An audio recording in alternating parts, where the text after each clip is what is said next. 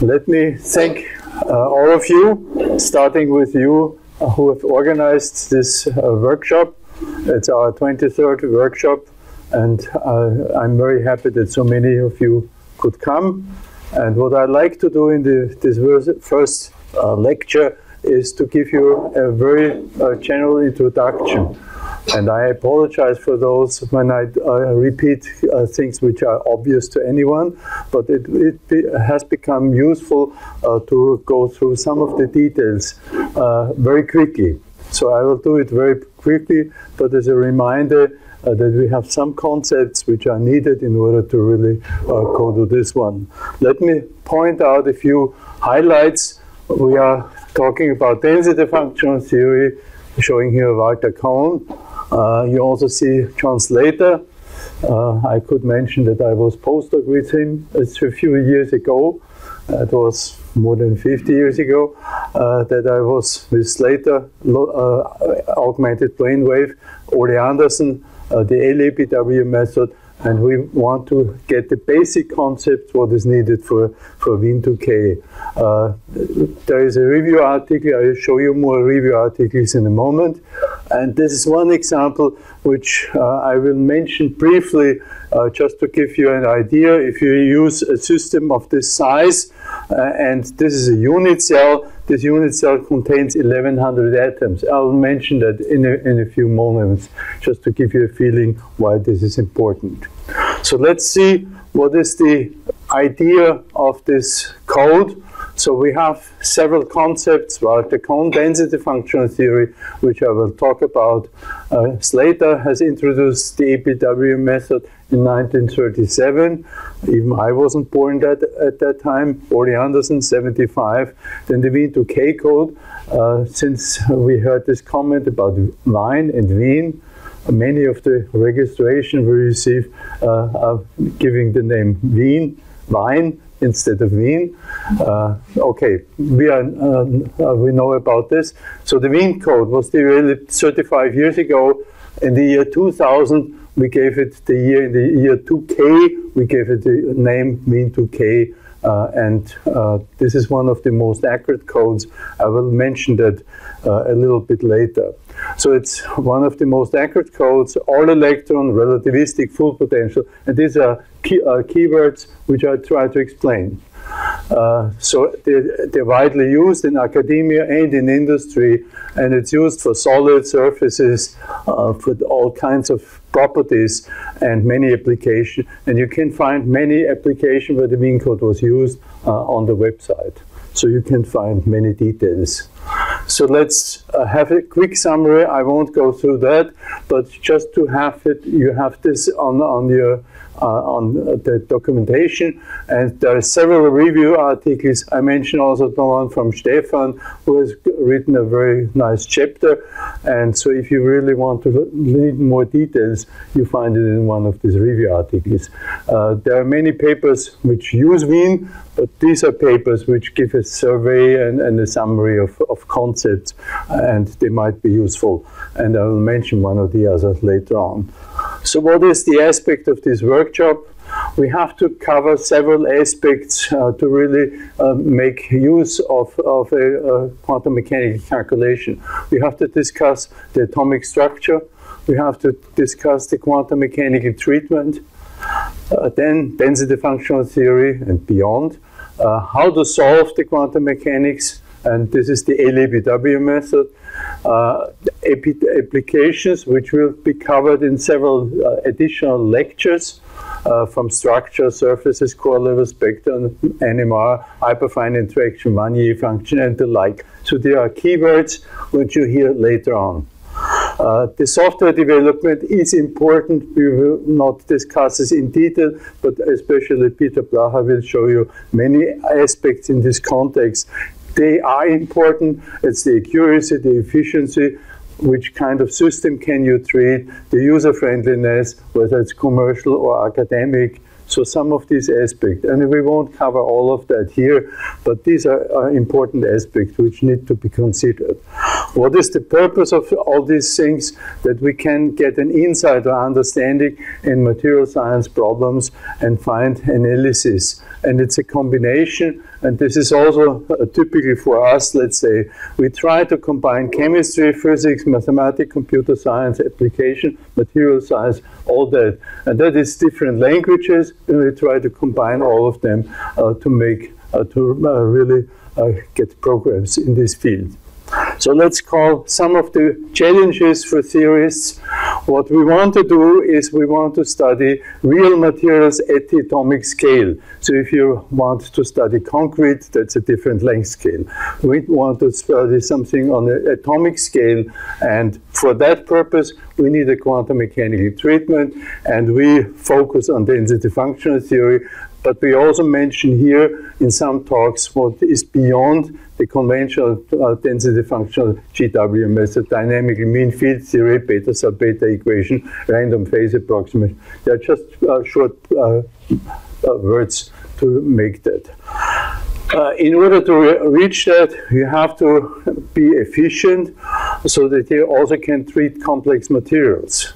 And so you need uh, good algorithms and the like. And so this is partly uh, mentioned here, but it is very important. And the other aspect is you want to compute more and more properties, specific properties, so that you can compare directly what you compute with something in the experiment. And that means you have to provide new, uh, new properties. So let's start out with the first topic, the atomic structure. Now, this is a repetition, and I hope most of you know these details, but I briefly mention it just to summarize what is needed here. So, what we assume in the atomic uh, uh, crystal structure is presented by a unit cell. So, we assume, and I think this is very often ignored because it's trivial that everybody does that, we use periodic boundary conditions, which is an approximation. The unit cell is repeated to infinity you have never seen an infinite crystal. So you have to make an approximation. You should appreciate that. Uh, sorry. Uh, so, uh, oops. Yeah. Uh, so we have the unit cell, then we have a real crystal as finite, it has surfaces, impurities, defects. Uh, I will briefly mention also the idea why is nanomaterials, why are nanomaterials different from bulk materials? Just to give you a brief uh, uh, aspect about this. Symmetry, we use space group Bloch theorem, I mentioned that briefly what is involved in this context. In theory, the atomic structure is an input which is an, a big advantage if you compare it to uh, experimental situation. On the one hand, we can also do artificial structures, for example, uh, something which doesn't exist in nature, you still can compute it, the property. If you want to say, if I replace an atom by something else, what would happen with the property? So you can do artificial, do computer simulations. In experiment, you guess what the atomic structure is, and you may not know it really in detail. So it is not perfectly known, and a single crystal microsystem, powder, nano, whatever you have, is a different one than what we assume in theory. And this is an aspect one should appreciate uh, if you compare theory with experiment. Uh, so let's go to the crystal structure, and this is a repetition, a very quick repetition. So fasten your seatbelt, and let's go through it quickly. We have a unit cell. It's defined by three lattice vectors. Uh, we have Bravais lattices, the atomic basis, the Wyckoff position, symmetries, space group, Wigner cell sign, reciprocal space.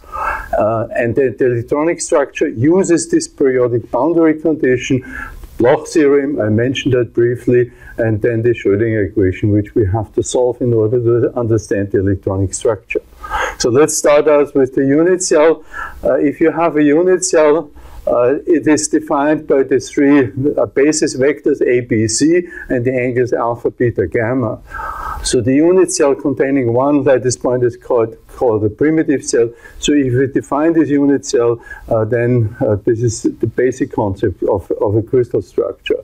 Now, a very simple thing which everybody of you knows, this is a primitive cell, but you could also have a body-centered or a face-centered cell in the cubic case, and I think everybody knows that. In this particular case, ABC is equal, and the angles are 90 degrees.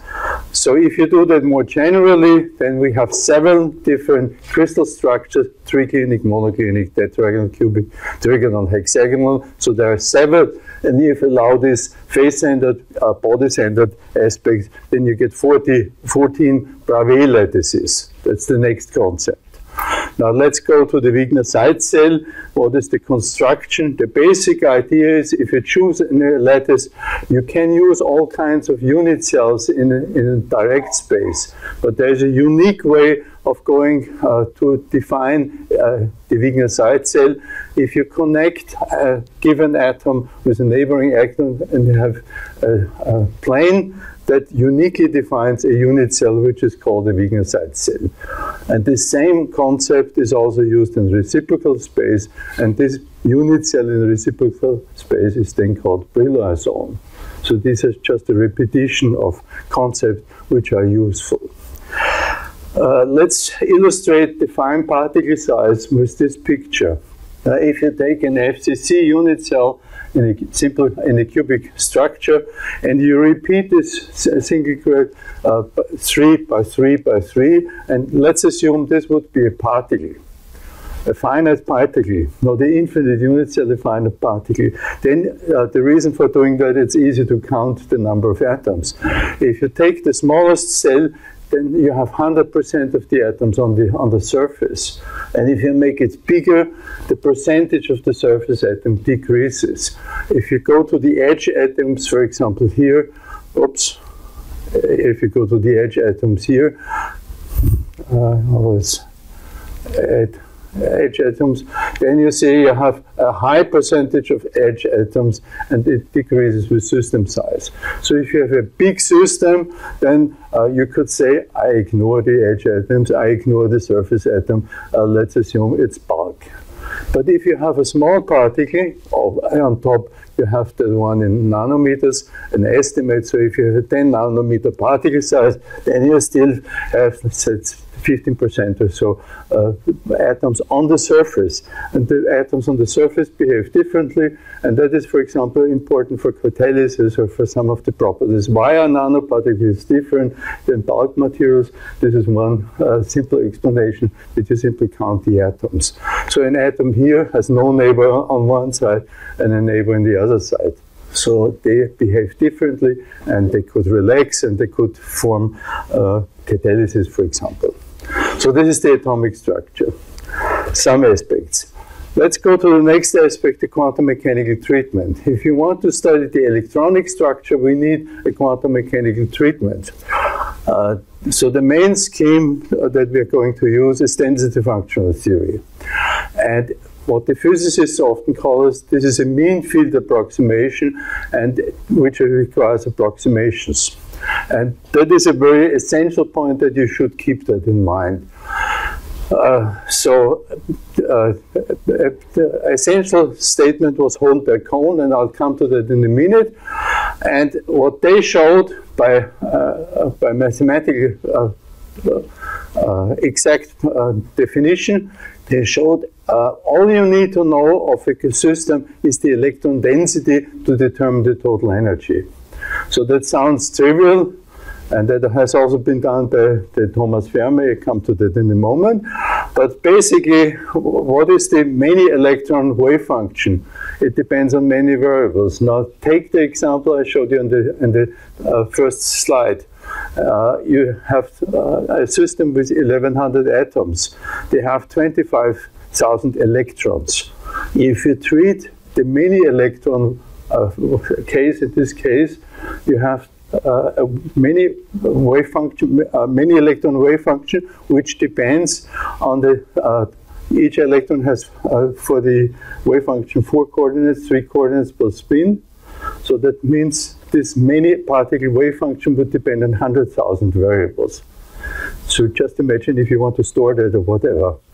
Uh, so it, it, it's obvious that you cannot solve the problem with the many electron treatment.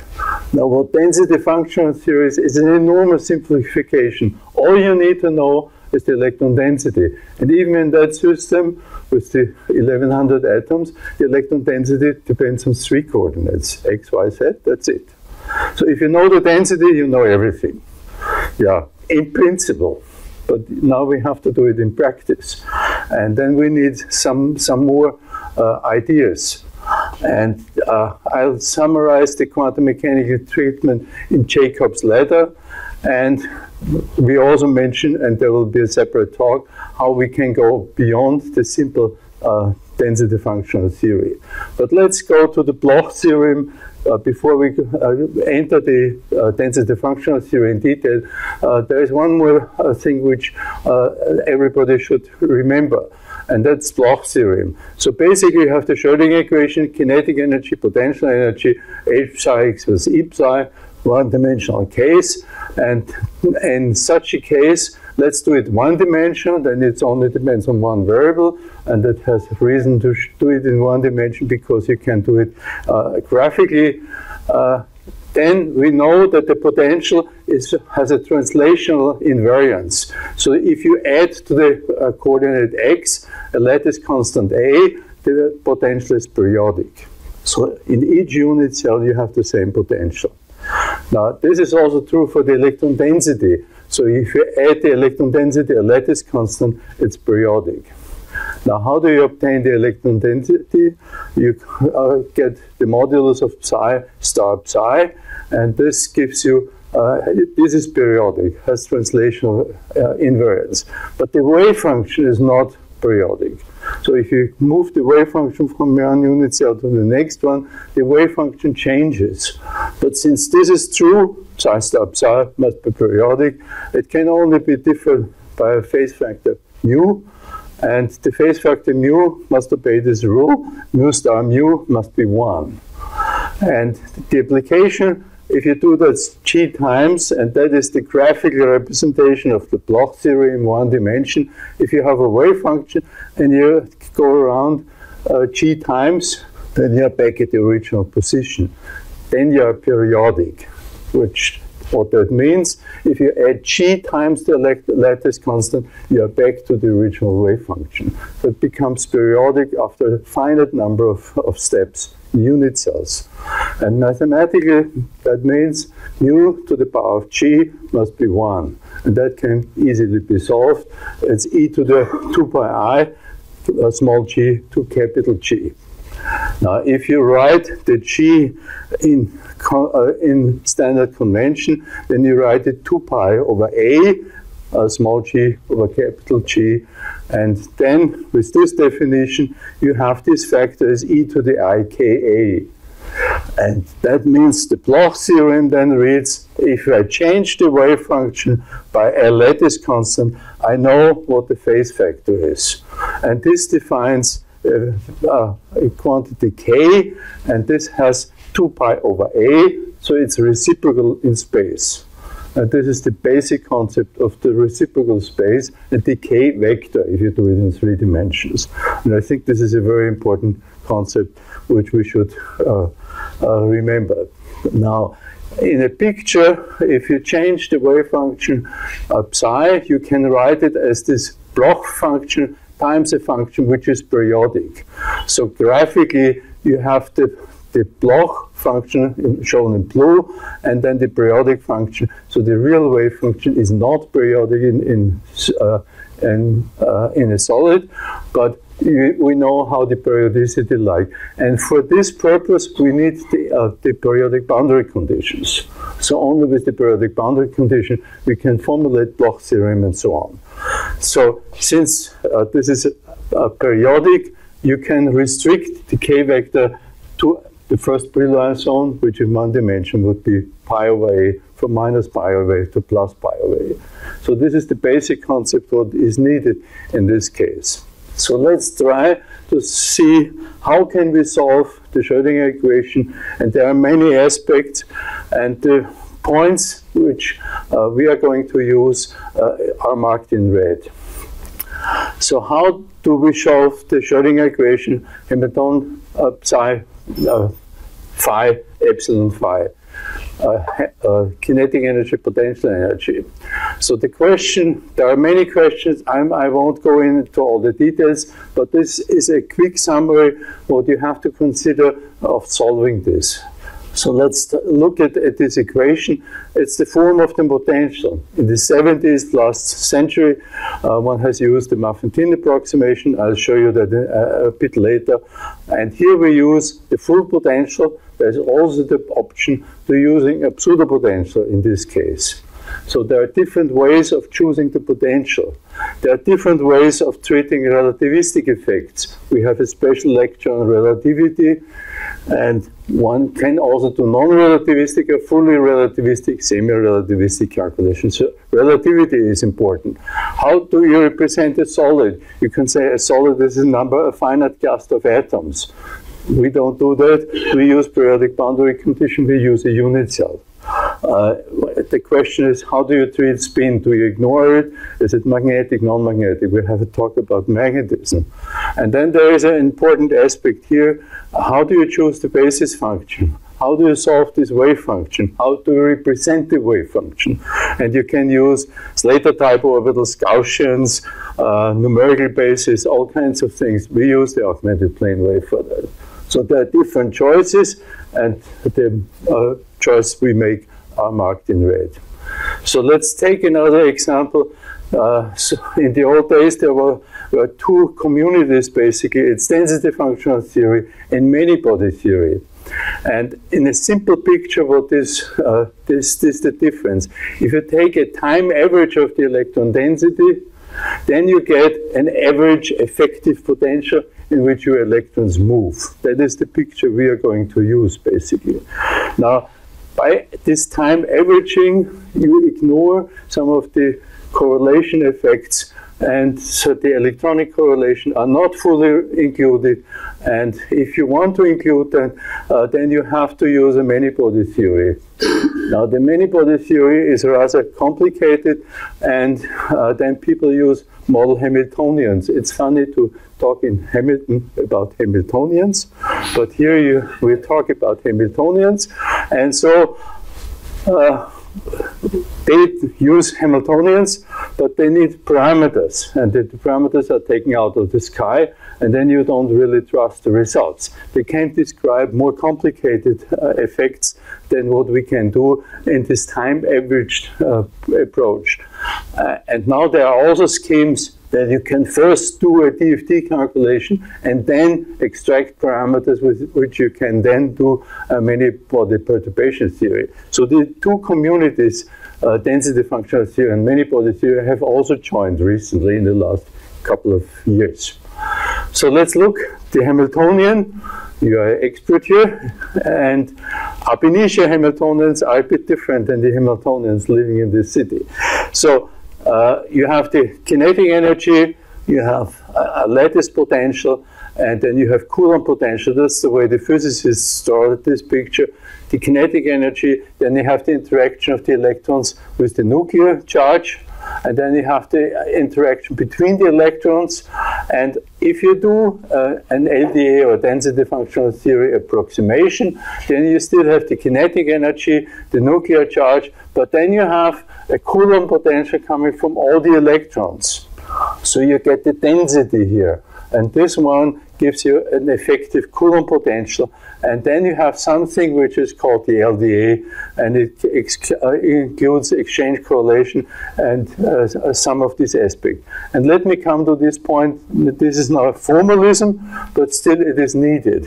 What we want to do is, and there is this famous from Perdew Jacob's ladder so if you start with the Hartree scheme, which I briefly mention in a moment, then you have the local density approximation where uh, the potential depends essentially on the electron density. Or you use a generalized gradient approximation. You add a term which also depends on the gradient of the density. And you can use meta GGAs, occupied orbitals, hybrid orbitals. And we have a separate lecture on all these uh, on all these schemes, uh, and the accuracy goes up, but also the computer times goes up tremendously. So Jim, Jacob's ladder means you want to go to DFT heaven, that everything is exact, and that doesn't really exist. In quantum mechanics, you can really treat small molecules uh, with uh, full CI configuration interaction, and you really get the quantum mechanical exact result. But in practice, for a large system, nobody can do that. So one would like to have that, and you have to make approximation, and this is an essential aspect of what you uh, do nowadays. Now let's go to the uh, essential points in density functional theory. So Hohenberg-Kohn theorem is exact, and what they showed uh, the, the, total energy of an interacting inhomogeneous electron gas in the presence of an external potential, the nuclei, is a functional of the density. So all you need to know is the density. So you can say the, oh, oops, you can say the, uh, I always touch this, uh, the energy is the potential from the nuclei times the electron density and everything else must be must just depend on the density. So that can be proven rigorously by mathematics. In Kohn-Sham, uh, I come to that from a different point of view. He said uh, what Kohn-Sham did is basically the, uh, in the Kohn-Sham the many-body problem of the interacting electron is mapped to a problem which can you which is solvable. So you solve it by a one electron reference system which has the same density. And once you have the density, everything is uniquely defined. So you replace the real system by an artificial system of non-interacting electrons, effective Hamiltonian, so to speak. And uh, the Kohn-Sham equation means you have this kinetic energy, the interaction between nuclei and electrons the interaction between the electrons, and everything else is the quantum mechanics exchange correlation. I come to that in a different representation. But let's just look at this term. This term is important.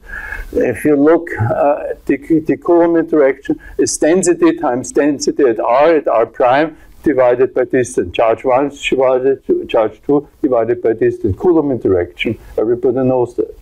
But what is uh, tricky in this term, uh, this density contains all the electrons. That means in this term you also include an interaction of the electron with itself, the self energy, which is unphysical. And so this unphysical term has to be cancelled here. And if you do that in Hartree-Fock, you have an equal term in the exchange term, and it's exactly cancelled. Now, here we make approximation, and then the self-interaction is not cancelled completely. It's approximately cancelled, and this is part of the problem of some of the applications. So let me try to give you in a pictorial way a way to uh, explain what is exchange and correlation. And uh, one way, which was also already proposed by, by Slater, and the idea is why, now let's take an n electron system and pick out one electron. Then you're left with n minus one electrons. And if you pick the electron at this position, then this electron, and now let me not give it with mathematical terms, but in the picture, what this electron tells you, Pauli principle, basically, that the other electrons cannot be at the same position with the same quantum numbers, with the same shape of the wave function. That means, in other terms, that each electron carries an exchange hole, a forbidden zone, so to speak. The other electrons are not allowed to be in the same position as the first electron, the chosen electron. And this is called the exchange hole, the exchange correlation hole. And if that is done with uh, electrons of the same spin, it's called the Pauli exclusion principle. So one electron and the other has a forbidden zone uh, uh, exchange hole. Now, what you should see from this picture is basically to understand why this exchange hole depends on the density. Now, let's assume a homogeneous electron gas, and you pick out one electron at one position, then the other electrons are not allowed to enter this place. So I have an exchange hole.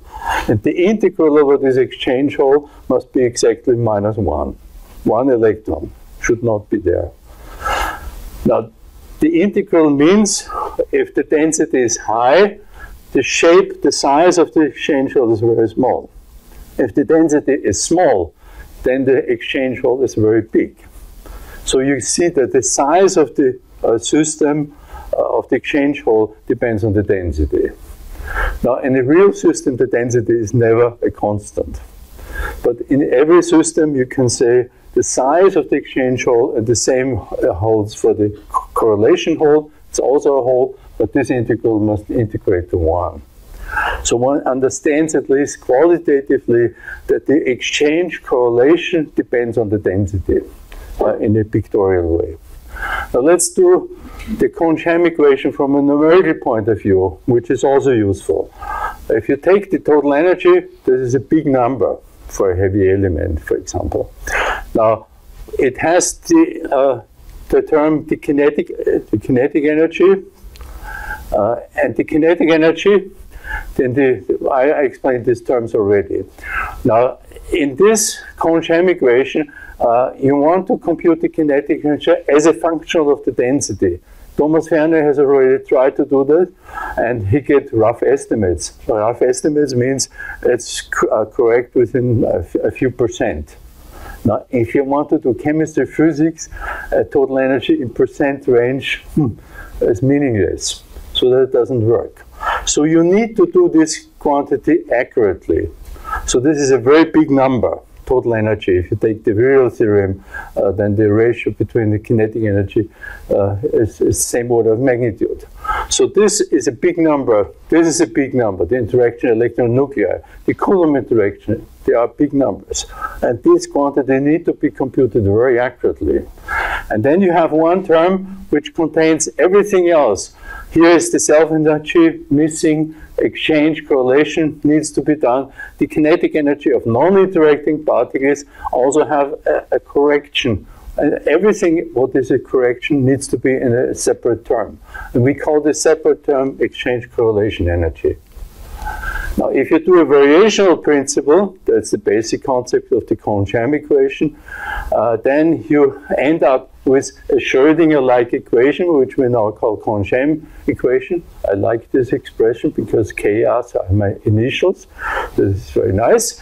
So we do the Kohn-Sham equations, and uh, in the Kohn-Sham, the kinetic energy, the nuclear potential, the Coulomb potential. Now we have the exchange correlation potential, which is the functional derivative of this quantity with respect to the density, uh, here labeled rho. So we have the Kohn-Sham equation. How do you get the density? Now you get the density by summing over all the occupied uh, Kohn-Sham orbitals. So what uh, has introduced, he went back to orbitals, to wave functions again, but not to many electron orbitals, but independent particle orbitals, the Kohn-Sham orbitals. And that can be solved. That is the trick. And if you solve it, then uh, this quantity numerically, what I told you, uh, this quantity is a small quantity, and here in this small quantity you make an approximation. Local density approximation GGA or other schemes. Okay, so let's go in a uh, statement. Uh, the uh, Hohenberg-Kohn, uh, that was done in Paris, and they did. Uh, at his 80th birthday, we have celebrated his birthday in Paris, and that was uh, the main statement was every observable quantity of a quantum system can be calculated from the density alone, and that is Hohenberg-Kohn. So you don't need the wave function, just the density. And uh, the density of the particles interacting with each other can be calculated as the density of an auxiliary system of non-interacting systems.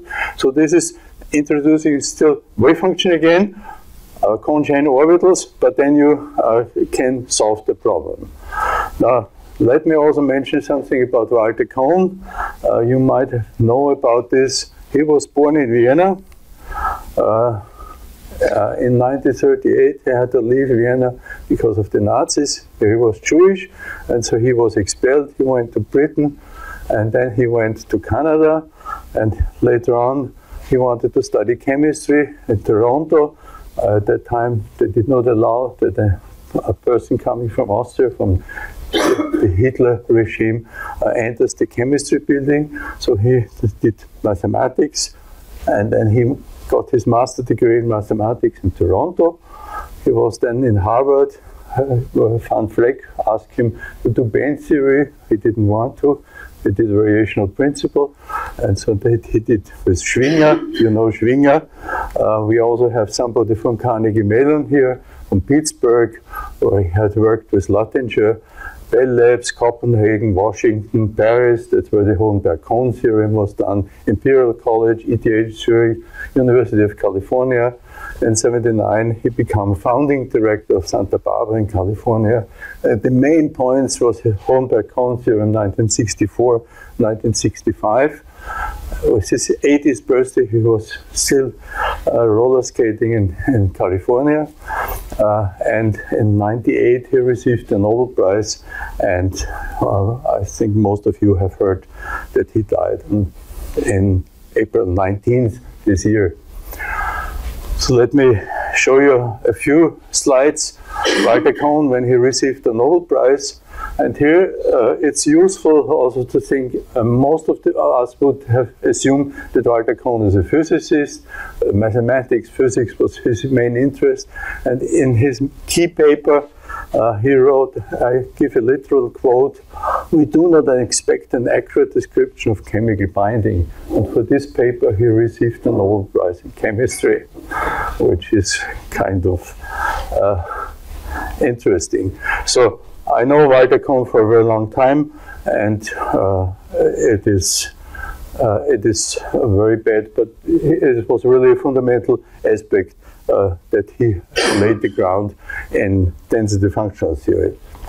Uh, let's come back to the results. Uh, here I show you a, a well-known example that the choice of, of functions is a crucial one. So if you take iron and you want to find out which is the ground state of iron, is it BCC or is it FCC, then you have to make a choice. And let's do uh, the uh, local spin density approximation. Uh, then you do a total energy calculation as a function of volume. You change the lattice constant and do a minimization of the total energy. And what you find is that FCC iron has a lower total energy with respect to the value taken here than the BCC ion. And this result leads to a non-magnetic FCC result, and it's in contrast to experiment. Now, if you use the GGA result, then you get this curve, and you see the experimental volume agrees with the minimum. And if you do the FCC, it has a higher energy. So GGA gives you qualitative the right result, and the LDA the wrong result. So this is one example that the choice of a function is important. And th this one gets very good agreement is also fortuitous. That doesn't happen all the time. So the choice of the function is a crucial step. Uh, let me also do it in a pictorial way. That was with Claudia Ambros-Draxl. Uh, so LDA was replaced by GGA. How she found two cars with these labels, parking one after the other, is nice. So LDA and then GGA. That was in Graz, in Austria, taking this picture. Now let me show you another aspect which brings us from the total energy to the single electron picture. And this is Koopman theorem. This is also something one should remember. What is Koopman theorem? If you take an atom and if you remove an atom and make an ion, then the difference in total energy between the atom and the ion gives the ionization energy. And what Koopmans has shown, again a mathematician, so to speak, uh, he received the Nobel Prize, and that was the only work he ever did in, in chemistry, so to speak. Uh, and uh, he, he, was uh, basically a mathematician. But let's show uh, in a simple picture what that means. That's a busy slide. But let me show you the explanation. If you take the total energy of chlorine, and if you take the total energy of the chlorine plus and the chlorine atom, that the total energy difference is the uh, uh, orbital energy uh, you, you find. So the total energy difference between atom and ion is equal to the orbital energy. And therefore you go from the total energy to the single electron picture, which is very important. Why does it work? What Koopmans has done And this is a schematic diagram which shows you. If you do a Koopman theory in Hartree-Fock theory, then you get a ground state, which is not the correct one. The exact one would be this one. So this missing energy is the correlation energy. If you do the iron, then you can do the iron uh, with the wave function coming from the ground state. Then you can relax the atom from uh, to have new wave function in the ion. Then you get gain energy, relaxation energy, and then you're still missing the correlation energy. So what you should do is take this energy difference, the total energy between the exact atom and the exact ion. What Koopmans has shown, if you use the ground state wave function and you take the energy difference, then this energy difference is very good approximation to the real approximation. Why does it work? And I think this is very common in this field. Here you have a large correlation energy, and you have two parameters, the relaxation and a smaller correlation energy. So the two areas you're making compensate each other, and therefore you get roughly the uh, good result in many cases. now let's move to density functional theory instead of Hartree-Fock. In density functional theory, the total energy is computed with a continuous variable of uh, uh, uh, occupation numbers. So you get the energy shown in this curve. This is a paper I did quite a while ago. And uh, what you can show, Janak theorem tells you that the, uh, the uh, orbital energy is the partial derivative of the total energy with respect to the occupation numbers. Graphically, that means Koopman theorem is the difference between this energy and this energy. And if you take the derivative, you have to remove half an electron. And if you remove half an electron, then you get a good estimate. Then one understands this picture, why this transition state sometimes is useful. It's an approximation, as usual, but it is useful. And the main point of Janak and Koopman theories that you get from the total energy to the single electron picture. And that is what all people do. So if you do band structure, you do a single electron picture. Okay, let's show a few examples about the uh, about the uh, effect of GGA. Here I show cobalt oxide an ex example. If you do a total uh, energy calculation with the local spin density and GGA, then you see one gives a good agreement and the other one has larger deviation. And if you look at the partial density of states, then you see in the LDA, this top band becomes very metallic. And here, in this case, the two symmetries split and it becomes almost an insulator. It should be an insulator. So you get it almost right with GGA and uh, pretty uh, wrong with LDA. So let's look, can you analyze it? If you take the difference between the two poten potentials, the GGA and the LDA, then now let's focus on this atom here. Then you have a situation where the neighboring atoms have the same spin, but these atoms have the opposite spin. And what LDA does, it averages and you smear out this effect. Now, what this picture shows you that it differentiates between atoms with the same spin and with the opposite spin. So GGA has some angular correlation, which LDA does not have. so one can sometimes explain where it comes from. If you do it in iron difluoride, then you see LDA is metallic, GGA is an insulator, as it should be. So there could be cases where LDA and GGA give qualitatively different results. Uh, we also going about electric field gradients. If you do the LDA, uh, it is pretty off, and if you do GGA, it uh, becomes uh, very accurate. Uh, Stefaan will talk about field gradients uh, and so hyperfine interaction. So that could be important. Let's take another example just to illustrate uh, it, there is not an easy, simple solution. And take 3D, 4D, or 5D elements, and let's find what does theory give you in terms of lattice constant. And then you find different, there's experiment in the first row, they have LDA, general gradient approximation, Perdew-Burke, Ernzerhof, Wu Cohen. And so you see for the 3D element, PBE gives better results uh, in the 4D, Wu Cohen, and for the 5D, uh, LDA gives the better results. So there are different cases. Now, what do you do if you take copper gold? Then you have copper and gold, and you have to make one choice, one functionals. And there is not a unique functional which works for everything perfectly. So the functional is an active field of research, and that needs to be considered. From one paper, let's look at testing different functionals. Here in many uh, solids. And if you look at the qualitative trend, uh, that is the error you get in the lattice constant, and LDA always gives too small lattice constant, and PBE gives bigger ones, and then you have schemes which reduce the error. So one has tried to find better functions which work good, let's say for the lattice constant, but then you also have magnetism or uh, uh, barriers or whatever. Uh, so there is not a uh, general uh, function which is perfect and works for everything.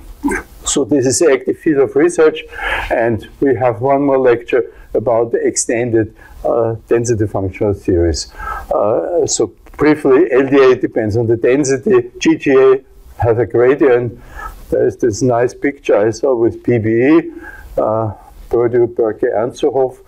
That's the way I interpret it. I asked the stewardess, how come you have this on, a, on an aeroplane? It's portable breathing equipment, so you have to be careful with abbreviation. yeah, so PBE is often used meta GGA, LDA plus U, GGA plus U, hybrid functionals.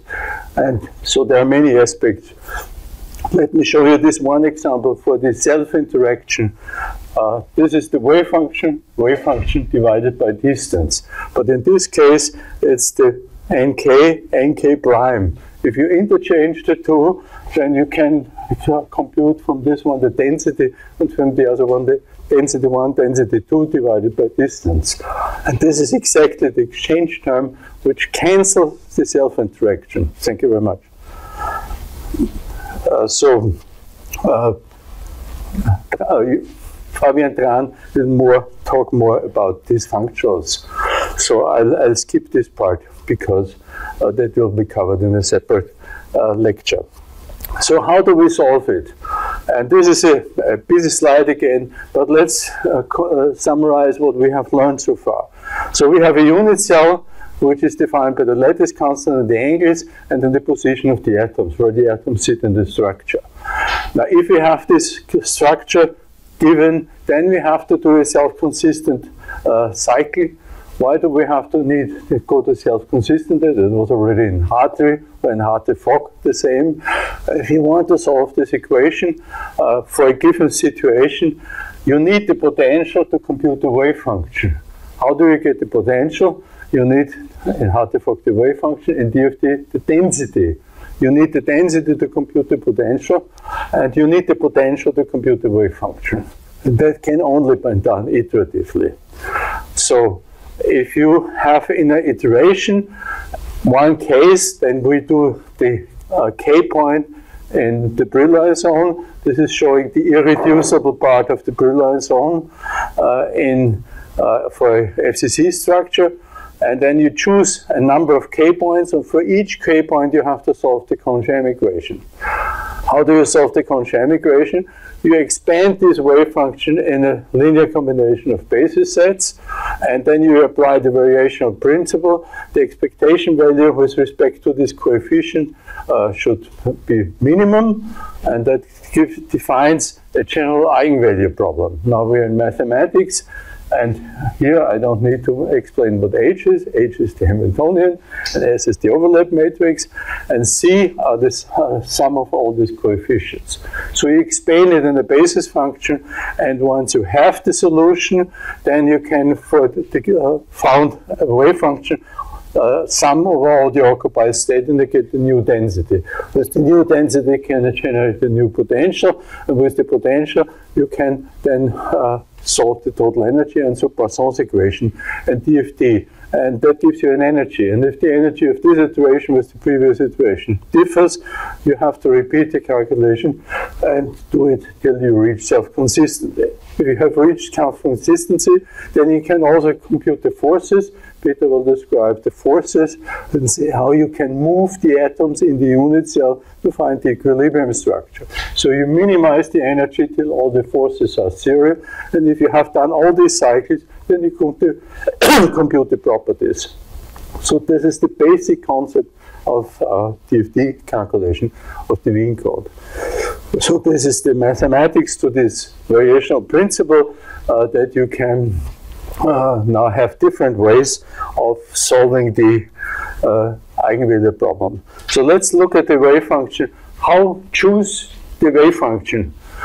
Uh, and this is where you have to make choices. So you have the, the scheme, uh, you can use plane waves. I will briefly mention what pseudopotentials are, project augmented wave. There are all kinds of schemes, and what we are using is the linearist augmented plane wave. So it's one choice of solving this problem. There are other possibilities, uh, and that needs to be done. Let me briefly mention the, the pseudopotentials uh, in this picture. So if you have a wave function of a heavier element, then you have uh, nodes in the radial wave function. And these nodes, this nodal structure, can very badly be presented with plane waves.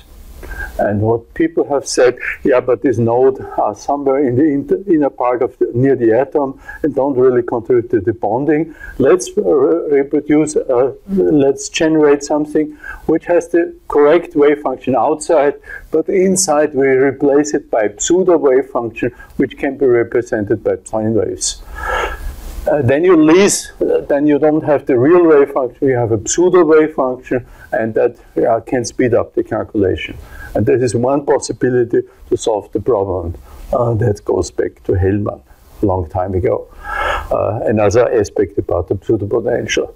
Now, the main point of, of the K, and I have to speed up, uh, was uh, APW, LAPW, and so on, and they are summarized in these articles. And that will give you in a uh, quick picture what is the basic concept. The idea is if you have a unit cell, then you can describe in the unit cell, uh, you define atomic spheres of a given size, non-overlapping. And what you do, which is shown in this graph over here, if you look at the wave function along this line, this is even a surface and uh, uh, atoms, then you see you have plane waves which uh, have some form, but if you come very close to a nucleus, you have this nodal structure which are difficult to represent. Now what Slater has suggested, if you have a plane wave and you come near to an atom, use an atomic-like function. And this has two advantages. On the one hand, it, it becomes much more accurate uh, you can really treat all the electrons. And the other one, it also helps the interpretation. If you have just plane waves, you don't really know what's going on.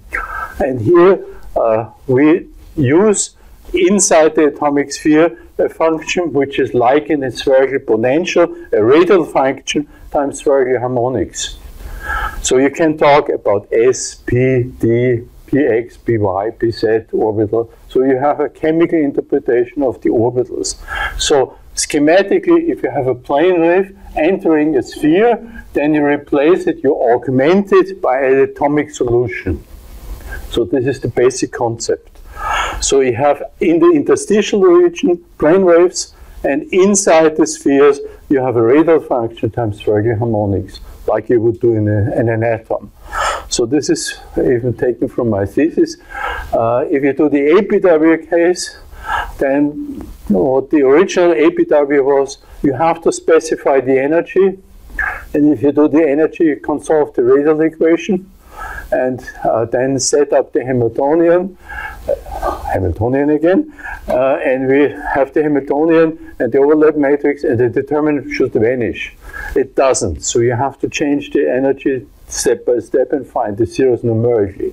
That is very tedious. Uh, that was the way it was done in the APW scheme. So what is the mathematical problem? The basis function depends on energy. And you should have an energy independent basis function. And that was made possible by the linearized augmented plane wave. And what do you do? Let's take a density of states schematically, then you have bonding orbitals and anti-bonding orbitals and a whole range. And the radial wave function inside a sphere could look something like this. For the bonding orbitals, you have a zero slope going to the neighboring atom. And for the anti-bonding orbital, you have a wave function, oops. Uh, for the anti-bonding orbital, you have a wave function uh, which goes to zero and to, to the next atom has a, has a node. So you have a bonding and anti-bonding. And so the energy radial wave function in this energy range changes from bonding to anti-bonding. And so what you do in LAPW is basically you take an energy at a fixed energy in the center of the band, compute this wave function, that's the UL for a given energy, and then you take to uh, allow for this energy variation a u dot, the energy derivative of this function with respect to energy. So you have two functions, u and u dot. And now, how do you determine the coefficients a and b? Now, if you plot again a plane wave coming to a sphere, then at the sphere boundary, uh, you have uh, the option in APW, then you could say the wave function should be continuous uh, at the boundary. And in LAPW, you could say the wave function and the first derivative should be continuous. And if you do that with two conditions, you can fix A and B.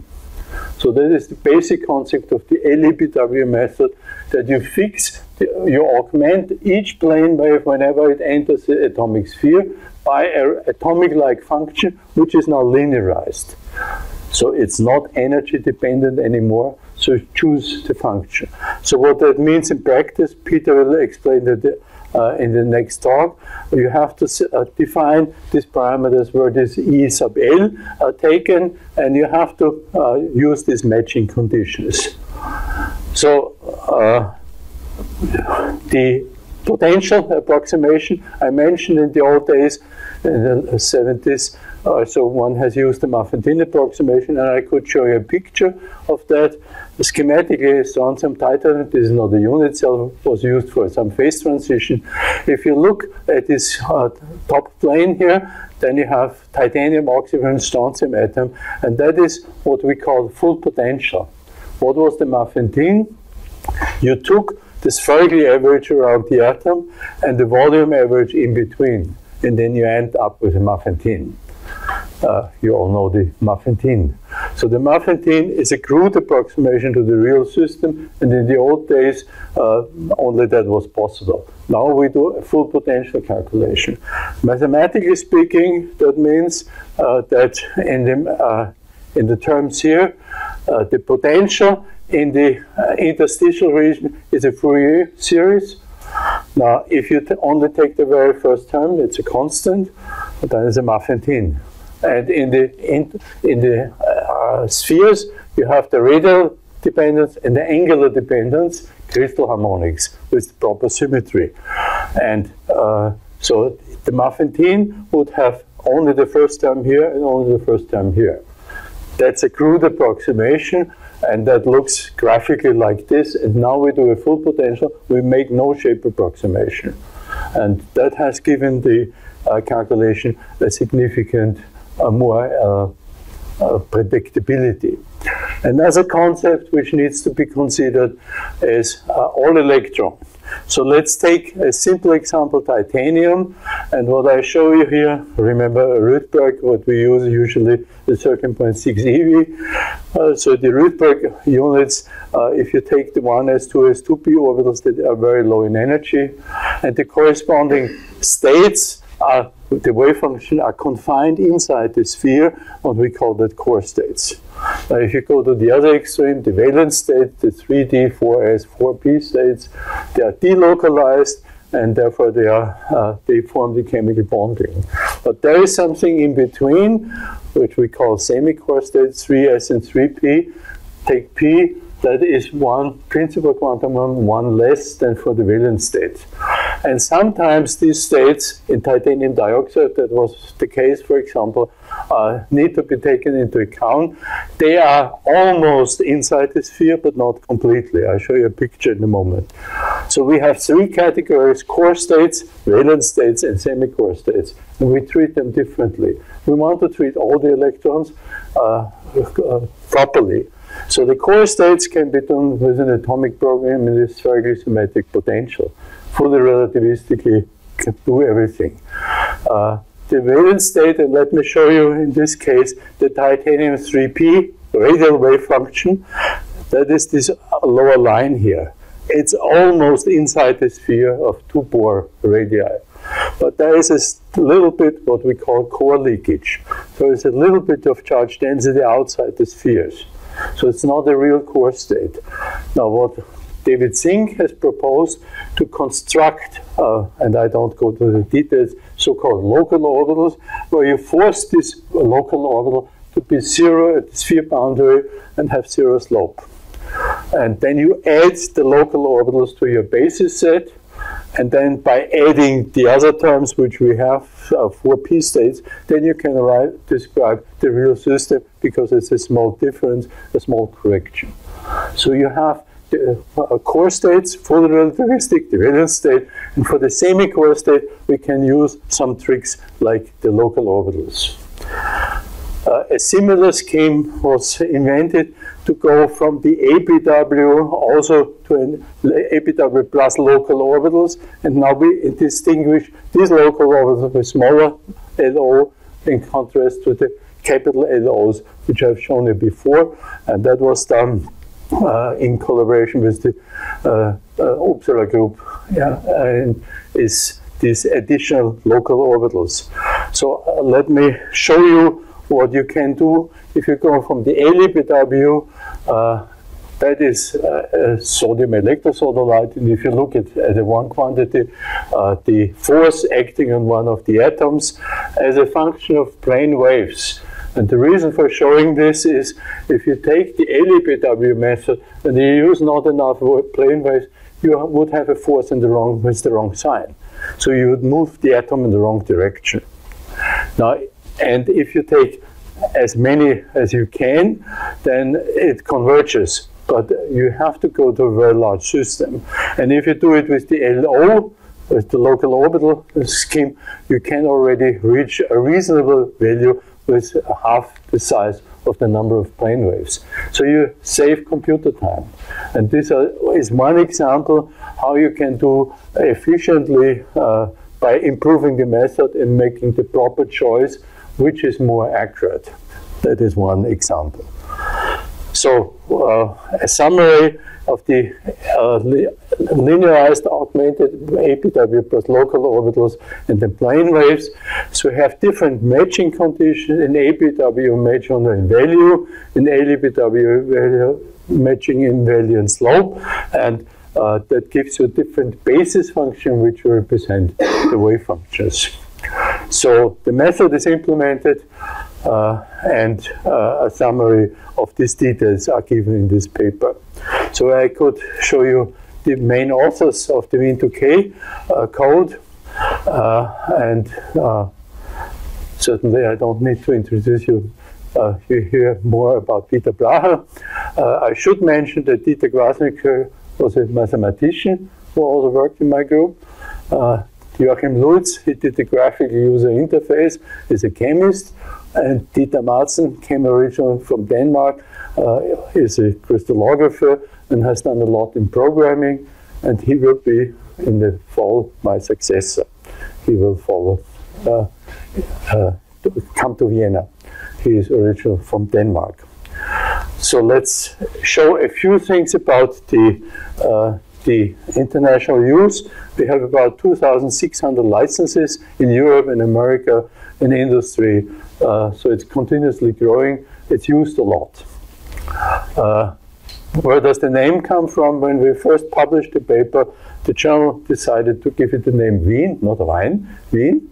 And for obvious reason, it was developed in the TU Wien. What, what is TU Wien? That's Sam Trickey, the, uh, the third author of the original So every country has the feeling we are in the center of the, of the earth. So therefore, there is Austria, and if you want to read more details, uh, there was also a book published uh, in by Signe Vacco uh, that it was developed in 93, 95, 97, Wien 2K, and you can read all the details. yeah. Okay, there are many people who have contributed to the code.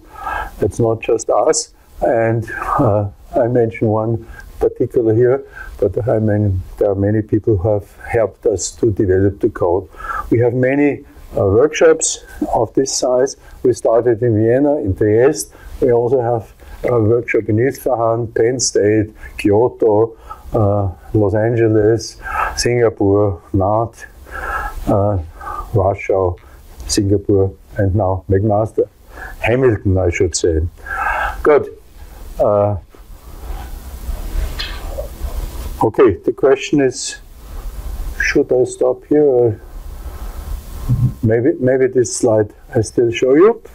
Uh, what is the self-consistent cycle? So you start with an input density, come to a potential. With the effective potential, you get wave function. From the wave function, you get a new density, and you start iterating till you reach self-consistency. Uh, in practice, what that means, take copper as example that illustrates what self-consistency. If you are not sure whether copper is in the 3D 10-4S1 or 3D 9-4S2 configuration, you start your calculation with this or that, then you get this or this band structure. So a very different one. But if you take one of these and go to self-consistency, you end in both cases with self-consistency, which is somewhere in between that should illustrate somehow what is self-consistency doing in practice. Now the program uh, details parallelization will be covered by, by Peter Blaha. Graphical user interface is something which you will also hear and see. Uh, maybe that is one thing I should mention here, the space group so what we have, titanium dioxide, for example, then you have the Wyckoff position. So by knowing the crystal structure, you uh, can simply say which kind of atomic position do we have uh, in this system. And uh, you will do, talk about titanium dioxide. I'll skip this, but I show you one more slide which was published very recently, and I think here we should especially thank Stefaan for this. This is a paper where you can see uh, the list of authors. It's the first time that I have a paper with so many authors. Peter Blaha, myself, and Stefaan. And this is a comparison of 40 different computer codes. If you just look at the list of institutions which are involved, there are 45. And what they show, especially, is the most accurate code is by no surprise the Wien2K code. And that has helped other codes with pseudopotential, uh, ultrasoft pseudopotential, so to adjust the parameters so they can get the correct result. If two codes use the same approximation in terms of DFT, they should get the same results but they don't.